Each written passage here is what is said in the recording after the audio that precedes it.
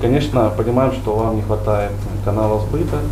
Э, вот мы совместно, в том числе с Минсельхозом, в рамках закона 381 об основах государственного регулирования торговой деятельности видим, что для малых формат, э, малых форм, прошу прощения, хозяйствования, э, малые форматы торговли, такие как нестационарная, мобильная, являются инструментом важным. Мы проанализировали то, что можно сделать в этом направлении. И э, также было два года назад распоряжение Мишустина 208 р о содействии реализации сельхозпродукции. Мы э, сделали э, изменения. 583 постановление правительства Ростовской области, это о нестационарных торговых объектах, предусмотрели такую меру, рекомендуемая, конечно, эта мера а, поддержки, это приоритетное право э, аренды для предприятий сфере АПК, ну я имею в виду все, кто отвечает законам о сельском хозяйстве. Э, данную меру мы рекомендуем муниципальным образованиям включить в свои программы э, развития субъектов малого и среднего предпринимательства. Э, только в сентябре вышло постановление, мы для себя сейчас актуализируем состояние, скажем так, как сейчас идут дела по данному управлению в части НТО для фермеров и предприятий АПК. И планируем определить пилотные проекты в части территории, а также в части сельхозтоваропроизводителей, кто заинтересован э, в нестационарных торговых объектах. Потому что ранее такие обращения были, э, о том, что там в Волгодонске есть желание там, э, приобрести право аренды, реализовать свою продукцию, это сельхозкооператива было. Ну и я думаю, что многие желающие тоже найдутся. Поэтому наша задача совместно с муниципальными образованиями отработать этот вопрос, а, в том числе как это будет в части порядок определить и также а, предоставить эту возможность сельхозтоваропроизводителям. Если говорить про мероприятия по реализации а, своей продукции, мы активно пользуемся таким направлением, как закупочная сессия, в связи с тем, что у нас были Э, ковидные ограничения. И, конечно, в 2021 году меньше проводилось, либо удаленно. Э, в этом году мы уже провели из последних это для хорики, а тоже присутствовали. Это у нас было в точке кипения. 26 октября в рамках выставки Ростов гостеприимный мы планируем провести большую закупочную сессию, но не как обычно там одну сеть. Мы пригласили 10, в том числе маркетплейсы, том числе у нас будет э, пока прорабатываем вопрос из соседних субъектов, вновь, которые к нам э, вступили в Российскую Федерацию, о том, чтобы межрегиональное э, взаимодействие также налаживать, потому что есть потребность в продуктах питания с той стороны, поэтому это также дополнительный канал, который может быть использован для наших предприятий пищевой перерабатывающей промышленности и фермерского сообщества. Поэтому всех приглашаем. В рамках э, данного мероприятия также запланирована э, торговой сети «Пятерочка», так называемая школа фермера.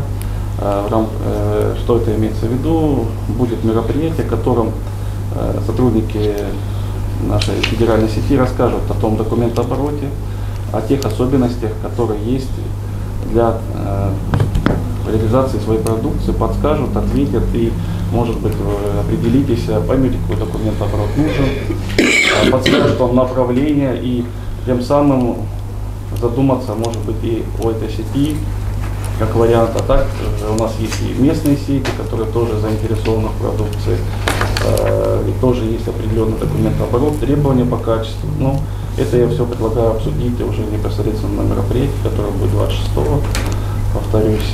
Также у нас как партнер это Россельхозбанк, а, департамент, несмотря на то, что мы к сельскому хозяйству, департамент а, далековато относимся, но мы а, обязательно включаем в наши все мероприятия, привлекаем. Почему? Потому что одним из продуктов, я думаю, Ольга Тимофеевна расскажет, является также платформа для фермеров, не буду останавливаться на этой платформе. Из последнего у нас на территории Ростовской области впервые был э, реализован проект «Фермерский островок». также это корпорация МСП, город Москва.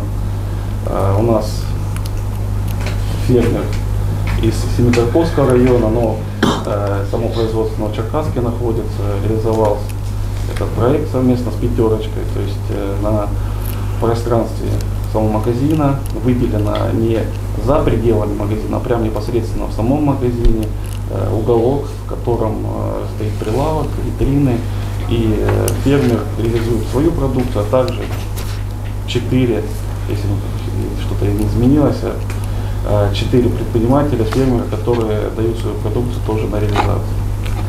Поэтому, если кто-то заинтересуется, просьба также дать о себе знать. Если хотите посмотреть, как это выглядит, то подскажем адрес, э, находится в районе Северного. На Таганрогском. На, Таганрог- да, на Таганрогском шоссе. Э, Поэтому можно будет ознакомиться. С 2012 года очень активно продвигалась программа по, грантовая программа по поддержке начинающих фермеров, по поддержке и развитию семейных ферм. С 2019 года в ходе национального проекта была введена новая программа для начинающих, это агростартап. Вот, и всего с 2012 года, вот за эти почти 10 лет, ну не почти, уже 10 лет, конец года, у нас выдано порядка грантов, порядка там 961 грант, это фактически более 10% тех фермеров, которые сегодня зарегистрированы в области, то есть каждый десятый фермер воспользовался этим грантом для своего развития. И сумма гранта достаточно внушительная, она более 3 миллиардов рублей у нас за эти 10 лет. Вот. С точки зрения роста объемов производства мы увидели рост, э, рост объемов производства молока в фермерском секторе, да, рост производства овощей в фермерском секторе. Э, вот. И, естественно, к, во второй половине этого срока стал вопрос, как теперь помогать фермерам эту продукцию, которую они нарастили, реализовывать. И здесь в помощь фермерам в первую очередь это программа по созданию и развитию сельскохозяйственных потребительских кооперативов. Потому что вот те каналы, о которых мы говорили, это маркетплейсы, да, островки, на сегодняшний день это точечные, э, будем так говорить, э, пилотные проекты, где фермеры пока каждый в отдельности там, или группкой э, пробуют свои силы в реализации. Но для такого массового эффекта, конечно, э, намного будем так говорить, эффективнее сработает объединение фермеров в кооперативы. У нас сегодня практически две трети жителей сосредоточены в городах, и вся фермерская продукция, естественно, она больше востребована э, в наших, в наших городах. И здесь было бы тоже интересно э, поработать в направлении э, предоставления городами помощи нашим кооперативам в реализации продукции ферм. Но для того, чтобы создать, для развития вот этой кооперативной программы, у нас э, вот и на территории Российской Федерации, и на территории Ростовской области уже с 2014 года существует программа поддержки кооперативов. Для того, чтобы начать работать в кооперативном сообществе, достаточно создать кооператив из трех сельхозтоваропроизводителей и уже э, продвигаться и пробовать свои силы совместно дальше. Для поддержки кооперативов э, по программам э, для тех, кто существует только что создался в первый год, могут быть предложены два вида поддержки на сегодня. Это субсидирование затрат по лизинговым платежам и возмещение 50% затрат за приобретенное имущество.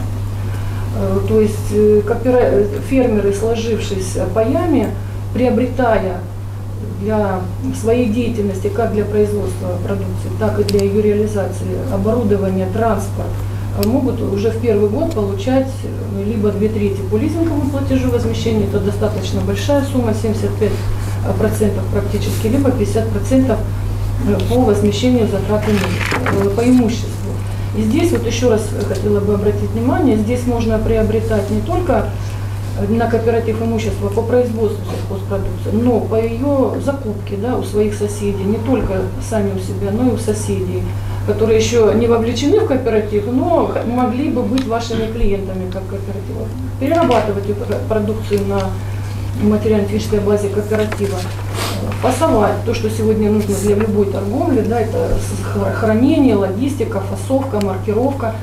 Все это оборудование необходимое можно покупать и субсидировать за счет государственной поддержки. Кроме того, э, можно также приобретать торговое оборудование, и если у кого-то есть желание попробовать себя, так сказать, в индивидуальной торговле, это, ну, по, так, чтобы было понятно, можно покупать автолавки, да, за 50% стоимости. Кто-то, может быть, есть продукция, кто-то хочет выезжать, делать развозную. Возможно, у города есть возможность предоставить таким фермерам площадки для выездной торговли. Пожалуйста, для организации, то есть можно приобретать по льготной программе автолавку. Поэтому э, на сегодняшний день мы бы видели тоже как следующий шаг в развитии сбыта фермерской продукции, это работу, совместную работу по объединению наших фермеров в кооперативы и по оснащению этих кооперативов в рамках государственной программы необходимыми э, средствами. На следующий у нас, э, будем так говорить, по программе кооперативного, поддержки кооперативов за последние годы создано практически 15 э, объектов малой мощности. Это у нас и цеха по переработке зерновых продуктов, то есть по производству круп. Это и цеха по заготовке молока и переработке этого молока. Это и э, хранилище по овощам, вот. И убойный цех у нас есть в Песчанокопском районе, именно на кооперативной основе. То есть достаточно положительных примеров, э, которыми можно сегодня, э, на которые можно смотреть и которые можно применять дальше в практике.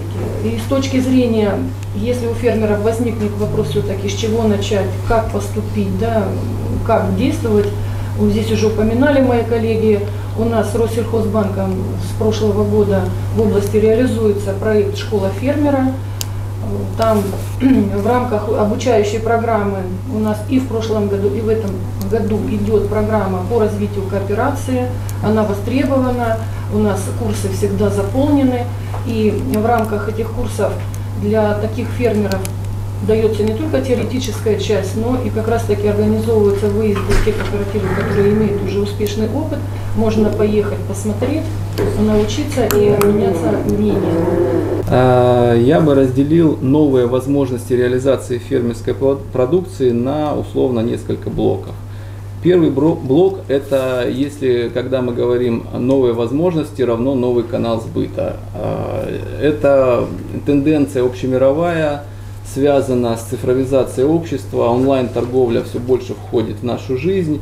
И о чем я говорю? Это Озон, это Wildberries, это свое родное Россельхозбанка, э, маркетплейсы, электронные площадки, онлайн-сервисы доставки фермерских продуктов. Все это постепенно входит в нашу жизнь, и фермеры в том числе все больше и больше этим пользуются. То есть это как бы естественный ход событий. Э, что мы как Центр компетенции делали в рамках данного направления. В 2021 году по, во исполнение перечня поручений правительства нами был, было проведено ряд, э, были проведены ряд мероприятий, направленных на вовлечение малых сельхозтоваропроизводителей в информационные сервисы реализации сельхозпродукции. Ну, так вот называется это пафосно. Что мы делали реально? То есть мы э, выступали как модераторы, мы приглашали представителей э, вот этих самых площадок, приглашали Россельхозбанк, приглашали небольшие региональные площадки, такие как где фермер, э, Экомид, ну и ряд других на которых э, представители этих площадок могли рассказать о том, почему следует пользоваться их площадкой, какие преимущества она несет, сулит, если ты ей воспользуешься. Ну а фермеры, соответственно, фермеры, личное подсобное хозяйство, представители э, кооперации могли задать вопросы. Ну и что самое ценное, приглашали а, представителей фермерского сообщества, которые уже пользовались а, услугами, в частности, вот по Россельхозбанку мы приглашали Игорь Молоко, если я правильно помню, они рассказывали о своем опыте и как у них продажи Э, ну, как сказать, заметно увеличились после того, как они э, использовали эту платформу. Э, второй блок возможностей – это, используя уже имеющиеся каналы, повышать свою конкурентоспособность. И тут я полностью соглашусь с Татьяной Николаевной Снитко, это только кооперация. Почему? Ну вот, допустим, возьмем фермера. Он на своих 100 гектарах, ну условно там, производит 500 тонн пшеницы. И продает ее ну, по 13 тысяч за тонну. Я сейчас ну, так порядок цифр говорю. 10 таких фермеров, объединившись, э, создав кооператив, могут сформировать корабельную партию 5000 тонн. Это вот теплоход типа Волгодон. И уже получить за, не, за ее реализацию не 13 тысяч рублей за тонну, а 17 тысяч рублей за тонну. Опять-таки, они могут создать мощности по хранению и дождаться пика цены, что тоже немаловажно.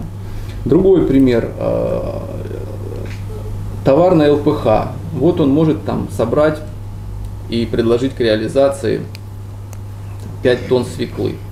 Не мытой, не фасованной, не калиброванной. 20 а таких ЛПХ, объединившись в кооператив, могут создать первичную переработку, мойку, калибровку, фасовку в сетку. И уже сформировать интересную партию для того, чтобы продать ее там в Ашан, в пятерочку и так далее. То есть они уже становятся ну не то, что разговаривают с позиции силы с сетью, но они на равных говорят. Когда говорит маленький фермер и большая сеть, это всегда неравноправное сотрудничество, и малые фермеры чувствуют себя, ну как сказать, не совсем уверенно. И э, примером таким, э, в качестве иллюстрации этого примера могу привести, вот недавно э, мы искали потенциальных поставщиков для ритейлера Озон Fresh обзвонили э, порядка 45 фермеров. Опять-таки надо понимать, что э, фермер, который производит мясо и реализует его в живом весе, либо там в полутушах, либо в четвертинах, либо зерновик, который это, это все история не для сетей. Это должна быть фасовка, должна быть упаковка, должно быть соответствие товарного ассортимента требованиям сети. То есть мы вот отобрали таких. Из этих 45 получилось 15 заинтересованных, мотивированных, которые говорили, да, мы хотим. А, мы отдали их представителям Amazon Fresh. В итоге э, значит, мониторим ситуацию. Сколько заключили соглашение? Один. Есть такой Пудышев э, Роман. Вот он заключил соглашение с Amazon Fresh, э, осуществляет поставки. Остальные по тем или иным причинам не смогли, не договорились, хотя были изначально настроены положительно. Почему? Начинаем анализировать. В чем причина? Почему не смогли? Не могут э, обеспечить объем поставок, который требует сеть, не могут оперативно менять ассортиментную матрицу. Э, и неожиданно для нас явилась э, ситуация, когда сложно получить обратную связь. Вот именно на маленького отдельного фермера почему-то сеть как-то ну, реагирует в плане обратной связи тяжело. То есть, говорит, не могу дозвониться, представитель сети там меня игнорирует, не перезвонит и так далее. То есть и если такие маленькие объединятся в кооператив, то они уже ну, могут на равных разговаривать с сетью. Поэтому кооперация малых сельхозтоваропроизводителей в данном случае является адекватным ответом на вот эти вызовы и трудности, имеющиеся при взаимодействии с сетями. А, помимо непосредственно самих выгод от функционирования кооператива, который я только что перечислил, в регионе осуществляется а, поддержка, господдержка а, кооперации, то, что Татьяна Николаевна упомянула, это в рамках а, постановлений 281, 369 субсидирования и в рамках 521 постановления грант со второго года жизни кооператива до 70 миллионов. Что, по нашему мнению, Центра компетенции могло бы быть дополнительным э, стимулированием э, кооперации в регионе если говорить о господдержке. Вот э, есть такой у нас сосед Краснодарский край, у них есть региональная поддержка, грант начинающему кооперативу. О чем там речь идет? А, кооператив, с даты регистрации которого прошло не более 12 месяцев, объединяющий не менее 10 сельхозтоваропроизводителей, э, имеет право получить грант на условиях софинансирования 10-90. То есть не 60-40, как эм, в данный момент э, грант на развитие материально-технической базы, а 1090. А размер гранта до 30 миллионов. Э, целевка, ну то есть то, что можно приобретать, примерно совпадает вот с э, целевкой на грант развития материально-технической базы. Перенять такой опыт, ну, нам кажется, что это было бы интересно вот именно для нашего региона. Почему в Краснодаре это можно, у нас нельзя. А, вот. А, и это было бы дополнительным стимулом развития кооперации, а кооперация – это ответ на вопрос по сбыту. Вот. Ну и завершая, хотел бы сказать про фермерские островки, то, что уже Алексей Павлович упомянул.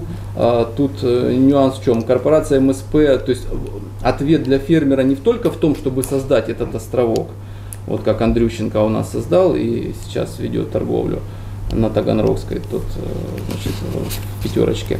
Но еще можно договориться с этим оператором островка и поставлять ему. То есть это такой более лайтовый вариант. Если вы еще не уверены, что вы готовы сами открывать фермерский островок, вы находите этого фермера и говорите, слушай, а что у тебя с ассортиментом, давай я тебе буду поставлять что-то еще. И такие уже случаи есть. Ну и параллельно ведется с Э, переговоры еще с одним предприятием э, по городу Таганрог. Если все будет хорошо, то до конца года откроется еще фермерский островок там. У меня все, спасибо за внимание. Я думаю, что меня, наверное, все поддержат, что э, в конце августа, то, что да, была ярмарка три дня возле табачки, это была самая идеальная ярмарка, которая была за последние годы. Вот, за это, конечно, большая благодарность, за организацию, за все, но а, вопрос в чем? А, хотели бы участвовать гораздо больше людей, и они об этом не знали. И это еще одна наша проблема, не только ярмарка и а, как таковое место, на котором мы должны, хотели бы все постоянно дислоцироваться, работать. Желательно, конечно, честно вам скажу, чтобы это было бесплатное, как и предыдущая ярмарка. А, мы всегда, вы знаете, тоже идем навстречу и власти, и э, стараемся показать свою продукцию с лучшей точки зрения, насколько можно э, украшать наши прилавки, предоставлять нашим клиентам на пробу продукцию. Вот. И мы бы хотели, конечно, чтобы ярмарки были, знаете, у нас свои какие-то определенные требования к ярмаркам тоже есть. И э, это один из э, это одна из большой помощи, которую бы а, город оказал бы нам, как маленьким-маленьким предпринимателям. Потому что в основном у, ну, наверное, у 90% это большая часть продукции ручной работы. Что-то, конечно, бывает там тестомесы, сыроварни, что-то есть, конечно, и авто, да, авто... Но вся продукция задекларирована, да, тем не менее. Да, мы декларируем всю продукцию. У нас у всех ИП или ООО, у нас все это а, в полной сфере по юридической части оформлено. Вот. И мы бы хотели, вот, ну, то, что я собрала со всех своих коллег, а, кстати, по поводу коллег, не знаю, есть ли у вас реестр вот таких вот маленьких предпринимателей, которые а, свою продукцию реализуют, думаю, что вы, наверное, удивитесь, что их а, достаточно много. Да, но многие даже не знают, как свою продукцию, где разместить. Или узнают, нет, или узнают нет. в последнюю очередь. Допустим, мы узнаем, что где-то ярмарка, а человек, когда начинает прозванивать, он очень удивляется, что мест нет. Вот мы приблизительно насчитали, у нас где-то минимум, то, что мы по нашим подсчетам, это где-то 250 человек. Ни одной такой ярмарки у нас ну, не было. Вот. Соответственно, э, мало того, что мы хотим как бы торговую площадку, чтобы а, на ней было по, уже по опыту всех ярмарок. Лично я больше года уже участвую в ярмарках, и самые проблемные это наличие парковки, наличие доставки людей. Это место не такое, чтобы вы отправили нас где-нибудь в Оксай в поле и как туда люди доберутся. Вот, дальше. А, желательно, чтобы была хоть какая-то охрана. Вот, допустим, когда было мероприятие, а, проводимое на газетном, все равно охрана была, это уже плюсы с этого были. А, честно сказать, количество украденного товара тоже достаточно большое, поэтому если бы были бы камеры, может быть, как-то народ чуть по-другому реагировал. Наличие столов и единой стилистики. Потому что вот когда была ярмарка, э, опять же, на газетном, это было все более-менее в одном э, гамме. виде, да, и гамме. А большинство ярмарок э, кто во что гораст, понимаете? И даже люди, которые приезжают из других городов, где это все организовано, ну, как бы создается не очень красивое впечатление. Ну вот, было бы приятно смотреть, когда это все а, там, написано, кто производитель, допустим, в какой-то цветовой гамме вы там... Не, ну кто производитель, это были замечательные вставлять. таблички вот на ваших Ну да, но это ж, ярмарках, э, ну не на всех же то, эти ярмарках что, да. бывают, да. с координатами, совсем это было. Вот. а, Дальше мы бы хотели, конечно, чтобы там была и уборка территории, потому что очень много всегда мусора остается, и э, тоже иногда на некоторых ярмарках, я не говорю про все, а, бывают вопросы, что мы еще это все и вывозим. Плюс а, люди, которые приносят э, или покупают продукцию, бывают не сильно корректно себя ведут. А, Большой, очень большой вопрос – это реклама. Практически э, сколько бы ярмарок не было, всегда больше 50% людей говорят, что они первый раз слышат вообще про ярмарку. То есть м- мы сами рекламируем свою продукцию, То есть и ярмарку в том числе, то есть мы оповещаем. То есть, с одной стороны, реклама у базу. потребителя, с другой информированность самих предпринимателей. Да. Да, Мы да. просто, чтобы можно было как-то реагировать, надо как-то вот нам или разбить наше Просто- обсуждение Разбить, на кусочки, а то мы так ну, прослушаем сейчас 500 вопросов, да, и ничего не обсудим. Один Да. момент еще по поводу регулярности, потому что хотелось бы, чтобы это было Да, не это раз в год, да, ну, пускай будет там раз в год одна ярмарка, вторая, третья, десятая, но чтобы они, а, тем не менее, хотя бы раз в месяц проходили на освещаемом да, масштабе, потому что Я у считаю, каждого... вообще нужна городская ярмарка выходного дня. И каждую субботу-воскресенье в определенном месте. Прекрасно, да, в проходимом что желательно. нас, да, на Да. определенных очень соцсетях, там, запрещенных, и разрешенных, у нас а, большое количество подписчиков, ну, по большому счету. Вот, и мы можем охватить как бы свою аудиторию, да, и когда человек знает, что у него есть а, действительно регулярно, что он может тогда-то, тогда-то, тогда-то прийти и купить то-то, то-то, то-то, потому что, ну, мы действительно мелкие производители, у нас нету таких больших масштабов, да, там, промышленных, да, скажем так. Да, поэтому, соответственно, всю продукцию, которую мы делаем, мы делаем в небольшом количестве, достаточно для людей, но при этом мы стараемся а, делать ее из максимально качественных а, продуктов, да, для того, чтобы к нам люди возвращались. Это, по-моему, акцент абсолютно всех, да, чтобы человек потом вернулся, ему понравилось со всеми предложениями какими-то. Поэтому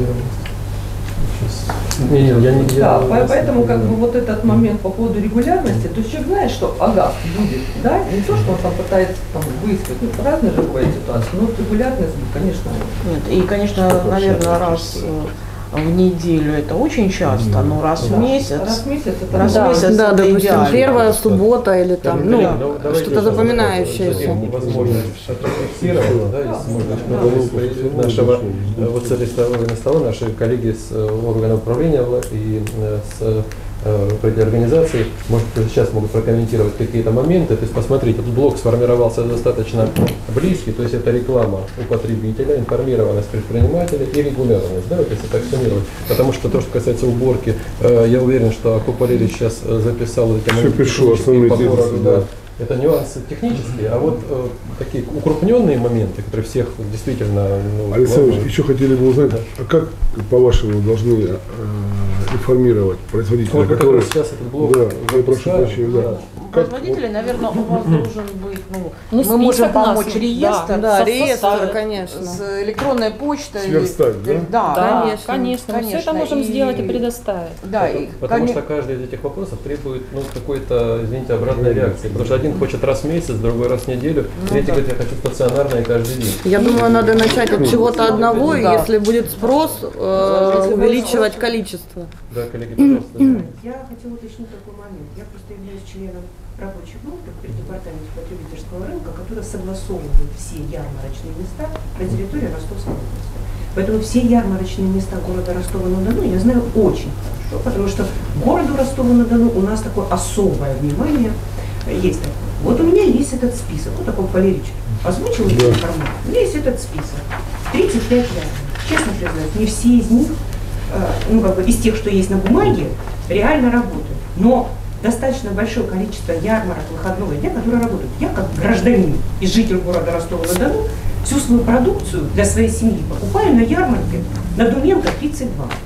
Прекрасно, и в том числе такие сыры, и, и молоко, и, и хлеб. Я все покупаю там. Другие. Ну, в смысле, другие, да, да. Извините, извините, я по поводу тоже фермерских. Вот скажите, пожалуйста, вы этими э, ресурсами пользуетесь? Да, так, Там есть так, свобода. что, да. Вот я записала, что, Что вы- мешает пользоваться Вот все там есть. Стоимость. И парковка, и парковка. Не-не-не, смотрите, нет, мы не проходные там по э, ценовой с категории. Там бесплатно Вот всего. Нет, там Вынос никто не мусора, купит вашу туалеты, парковки, все прекрасно. Для, для нас, как для потребителя, и для вас. прошу- Ценовая, по ценовая политика. Центр города нас интересует. А, Как ну, раз таки там живут Мы же э, все живем, платежеспособные. вернее, не все в центре города. Нет, дело не центр города. Просто люди даже с окраины хотят в выходной, а, это как променад, как определенное мероприятие, и они уже в центр, и там еще ярмарка. такого, Это не мы хотим, я думаю, такого, потребители хотят. да? Но вы же понимаете, что каждый выходной Можно- это маловероятно. Да. Раз в месяц. коллеги, давайте мы сейчас, мы сейчас Поэтому я предложения предлагаю с вами обсуждаем. те да. ресурсы, которые уже есть, которые уже созданы. Часть из них создана муниципалитетом, вот. Часть из них создана частными компаниями, безусловно. Вы же бизнес, и они бизнес, и они тоже хотят заработать. Так не бывает, что все бесплатно. Вы же зарабатываете. Ну, И они давайте, же а, смотрите, хорошо, вот вопрос. А, Рядом с моим домом есть а, ярмарка труд, которая была когда-то перенесена с рабочего городка. Я там хожу, покупаю часть продуктов. Но моя продукция, силу того, как я ее делаю, сколько на нее идет труда, она и всё, по ценовой она, она по не ценовой подходит, да? политике, как и вот это Надуменко, мы все эти, вы думаете, вот Ну, эти мы ярмарки, это, это рынки, это не ярмарки. Понимаете? И они абсолютно отличаются. И когда, допустим, у тебя хлеб за 30 рублей, ну, вы просто, я могу дать э, любому человеку рецепт и, и посчитайте булку только одного хлеба, сколько у вас она выйдет. Посчитайте сыра, сколько выйдет, Понятно. понимаете? Я понимаю, что это не ваши клиенты там. Да, да, да. Поэтому мы же да. уже знаем э, э, именно круг людей, которые ходят. своего. Плюс я же говорю, некоторые не знают о нас. И они бы с удовольствием покупали нашу продукцию. Почему мы хотим тоже достучаться до этого? По поводу кооперативов, я вам больше могу сказать. Мы даже нашими маленькими вот такими а, микропредприятиями кооперируемся. И, допустим, я а, частенько бе- беру сыр а, Елены, свой хлеб и вожу своим клиентам. Или девочки там други- другую продукцию тоже совмещают, потому что экономия на той же доставке. Потому что люди сейчас, как бы они не хотели онлайн, я могу тоже тенденцию сказать того, что ни- никто не хочет платить за доставку, оно должно как-то человеку перелететь. А то, что на это тратятся деньги и время, это никого не волнует. Да, и Конструктивно обсуждать. Итак, прозвучали проблемы. Информированность, реклама, регулярность, место. э, места проведения. Да? Вот э, если на какие-то из этих вопросов есть э, мысли у коллег, я, Татьяна Николаевна, я знаю, что хотела несколько слов сказать. Ну, я, может быть, не совсем скажу конкретно по каждому вопросу. нет, я бы хотела объединить, да, возможно, коллеги в силу своих обязанностей как бы более подробно. Но вот у вас прозвучало слово кооператив, да, с одной Да. стороны вы уже работаете как кооператив, да, с другой стороны вы немножко негативно пока к этому относитесь. А, нет, просто вы же говорите об объемах, Нет, вот которые вы мы ж- вряд ли возьмете. Вот, Нет. допустим, мы с Еленой соберемся Нет, сделать. вот давайте нас. мы, вот, э, Да. кто возьмет, будут брать потребители. Да, я э, в продолжение э, хотела бы сказать, что да, если вас не устраивают да, действующие ярмарки, то вы, как объединившись кооператив, можете создать свою площадку. То есть это ваше право и выступать организатором ярмарки. И уже как организатор вы можете, да, вы уже знаете эти 250 человек, да, вы кооператив, вы организатор ярмарки. У вас из этих 250 кто-то действующий член, кто-то ассоциированный, да, вы их информируете, да, вы помогаете им создать рекламу, э, вы э, что там еще там, э, все делаете единый стиль, там делаете, уборка, охрана, да, и вот здесь в помощь кооперативу вступят государственные программы для того, чтобы вам, как уже бизнес-единицы, минимизировать эти затраты, да, и как бизнес-единицы оказывать содействие как со стороны города, да, со стороны там если хоза, департамента. То есть вы уже на сегодня, э, будем говорить, делаете первые шаги, объединившись, да, и пытаясь создать эту ярмарку. Но давайте попробуем шагнуть дальше и уже как кооператив выступите организатором вот этой эксклюзивной, да, эксклюзивной э, с продуктами, которые имеют определенный ценовой сегмент, определенного целевого потребителя, да, не массового, как вы говорите, а вот более изысканного, требовательно. Вот давайте, пожалуйста, этот проект, он может родиться, да, вот, и э, мы можем пошагово двигать его как кооператив. Я обозначал их последние три, да, они проводились за счет областного бюджета. Надо отдавать отчет, что э, средства, ну никто вам бесплатно не поставит палатку, никто из вас не берет мусор, это стоит денег. Почему? Э, у нас порядка 400 площадок по всей Ростовской области. Есть категория постоянно действующей, есть э, выходного дня. Э, как правило, выходного дня проводят муниципалитеты. Как образцов я приду в город Новочеркасск, порядка 200 э, предпринимателей приезжают на площадь. Муниципалитет своими силами э, расставляет, убирает, предупреждает полицию. Э, вот такие вещи, понятно, не могут постоянно быть, потому что они ложатся на плечи администрации. Второй момент, проводятся, как правило, это не в летний период, потому что есть температурные режимы, каким-то праздничным мероприятиям. Если говорить про город Ростов, то 35 площадок, э, некоторые действуют и в центре и Буденновский, э, Малюгина, а, пожалуйста, бывший завод Тава, который, я забыл, как площадь или химиков или энергетиков. Да, да. То есть есть площадки. Я понимаю, что э, там э, могут какие-то сборы быть за ту же территорию, за- потому что некоторые площадки есть коммерческие, то есть она принадлежит кому-то, и есть управляющая компания, которая эту землю ну, не может дать бесплатно. Если говорить про муниципалитет, э, те площадки тоже муниципальные не определены, участие там возможно. Есть даже, без, я не говорю про Ростов, сейчас не готов сейчас э, сказать, где именно бесплатные, но по области у нас такие истории есть. В Ростове Пон- бесплатно 230 мест. да, поэтому э, есть история Можно следующая по городам. Да, я сейчас скажу, я сам лично проехал э, по городам а, и понимаю, есть такое понятие, это коммерческая история. То есть, ну, кто поедет в Азов, реализовывает там э, какой-то продукт, 2000 рублей цена, если туда пришли за картошкой за 20 рублей. Понятно, потратить на дорогу, отстоять полдня и вернуться там, с минусом части коммерческого успеха. Поэтому если идет речь э, не о массовости, то есть не об этих ярмарочных мероприятиях, которые проводятся, не, от- не о рынках, у нас даже на центральном рынке есть место, которое э, согласовано как ярмарочное пространство. Э, Сейчас э, есть возможность, э, и может вы тоже подумаете, коммерческая какая-то есть площадка, ну или земля кому-то принадлежит на право собственности ваших э, из 250 фермеров. Э, Порядок следующий. Обращается, нужно обращение в муниципалитет, комиссия согласовывает, пожалуйста, работайте на своей площадке в формате ярмарки. Если это будет еще фермерская история, мы двумя руками за, мы будем, для нас важно, чтобы у нас появлялись форматы там, фермерская ярмарка, и вы будете только одни фермеры, и мы можем говорить, вот наше э, мы готовы, у нас есть и наше министерство информполитики, которое готово размещать информацию. То же самое, что мы делали э, про винную ярмарку. Э, в первую очередь город, на сайте правительства, э, мы своими силами тоже распространяли информацию. То есть, если такая площадка может состояться, и вы ее видите, например, давайте обсуждать ее, и в том числе с городом определить эту площадку. Но сразу говорю, что э, площадка с точки зрения э, бесплатности, то есть если вы думаете, вам дадут и за вами будут убирать, вам будут расклеивать баннеры и нагонять рекламу, то вряд ли. То есть в части информационной политики, повторюсь, мы как э, Минсельхоз, у них есть содействие развитию э, АПК в области, если вы, есть у вас статус сельхозтоваропроизводителя, то готовы оказать содействие. А вот Минпромторг России получили мы письмо на прошлой неделе, э, просят обратить внимание на такую категорию, это торгово-развлекательные комплексы. А, Там э, идет история, это все понимаете, закрытие иностранных магазинов, уход э, с площадей, и есть возможность, э, ну это в российском формате, э, в формате России, да, есть проблематика, что торговые комплексы развлекательные теряют там клиентов и готовы свою площадь предоставлять. Почему бы не посмотреть, в том числе ваша история, может она Вы там знаете, сколько там Да, стоит? там Да. ценник И они с уходом этих производителей, производителей, они они, возложить. да, на нас и, по- и цены по- повысили во много раз. Слушай, можно вопрос, где сейчас вот реализуется ваша продукция?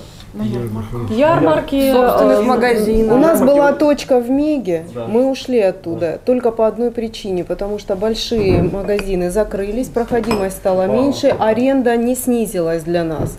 Мы были в сети Гриднев. Та же самая история. Мы ушли оттуда с сентября месяца, потому что для нас, как для фермеров, а, по федеральному законодательству есть отсрочка по маркировке молочной продукции. Она продлена до 1.23, до 1.12.